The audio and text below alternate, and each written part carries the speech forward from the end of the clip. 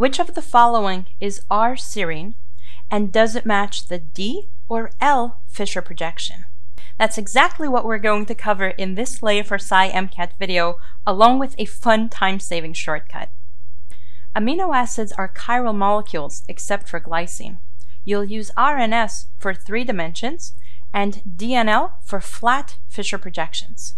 Let's start with a quick review of stereochemistry. A chiral atom is sp3 hybridized with four unique substituents. To find the R and S, 1. Rank your substituents. 2. Make sure number 4 is in the back.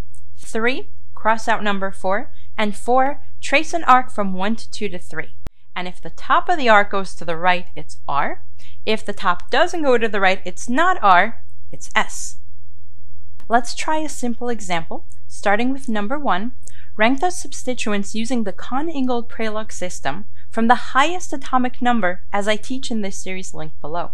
Of the 10 atoms I recommend memorizing, amino acids only contain H, C, N, O, S with priority order S, O, N, C, H. Back to our molecule, we start by ranking substituents. We have C, H, O, N. Two quick shortcuts to remember. One, hydrogen is always number four.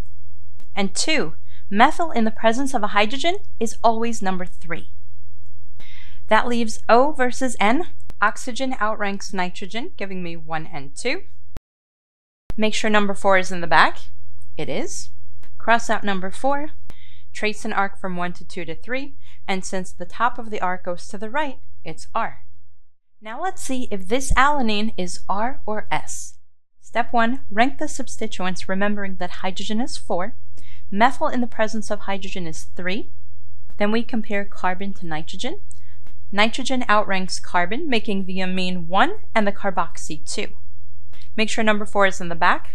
Cross out number 4, draw an arc from 1 to 2 to 3.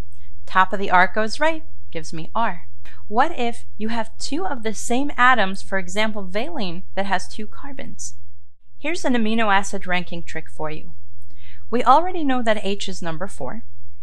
Since every chiral R group starts with a carbon, and nitrogen outranks carbon, the amine is always number one.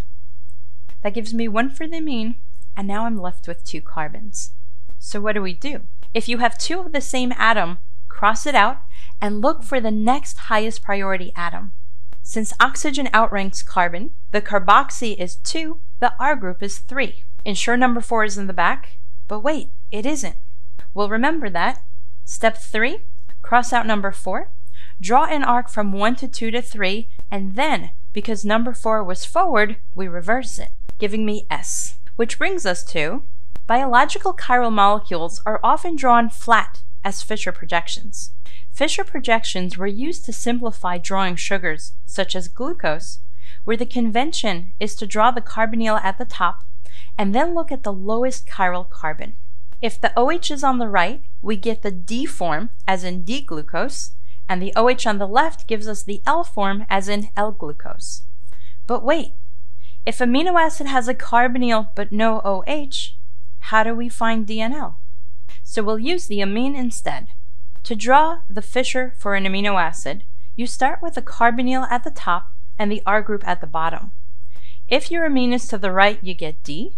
If your amine is to the left, you get L, where hydrogen just goes opposite on the horizontal. While we have two potential amino acid configurations, biological molecules like L amino acids and don't like. Would this R-alanine give us D or L? Let's find out. Mr. Organic Chemistry is here to help us review Fischer projections. The horizontal line comes out of the page, like Mr. Organic Chemistry's bow tie, and vertical, like Mr. Organic Chemistry's spine, is dashed and into the page. Let's try L-serine. Is it R or S? 1. Rank your substituents, remembering that hydrogen is always number 4 and the amine is number 1, leaving us with two carbon atoms. When the atom is the same, cross it out and find the next highest priority, which in this case is also 2 oxygen. The oxygens cancel, and we go back to the original carbon to find its next highest priority. The carboxy has an oxygen, the R group has a hydrogen, and so the carboxy outranks the R group, giving us 2, and the R group is 3.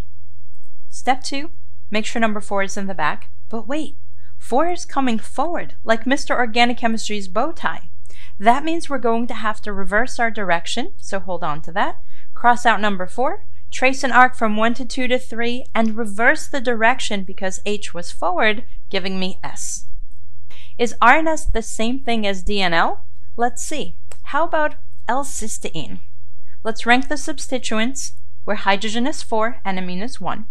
Once again, we have two carbon atoms. Cross them out. Look at the next highest priority where sulfur outranks oxygen, making the R group 2 and the carboxy 3. Number 4 is not in the back. Cross out number 4, trace an arc from 1 to 2 to 3, and reverse the direction because number 4 was forward. L-cysteine is R.